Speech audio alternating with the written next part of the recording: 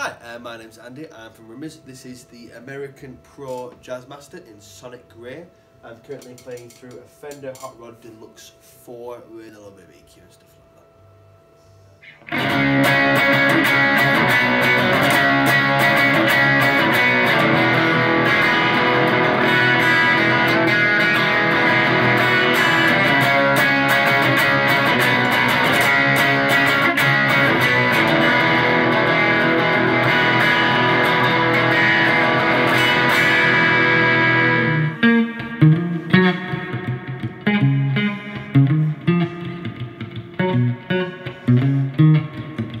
Thank you.